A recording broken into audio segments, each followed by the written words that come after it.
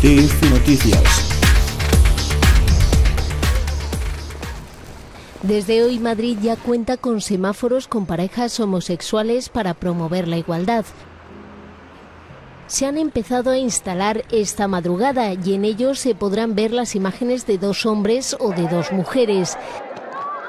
Se colocarán en diferentes puntos de la ciudad y el ayuntamiento de Manuela Carmena también tiene pensado pintar algunos pasos de peatones con los colores del arco iris. Son iniciativas con motivo de la fiesta del orgullo gay de dentro de tres semanas.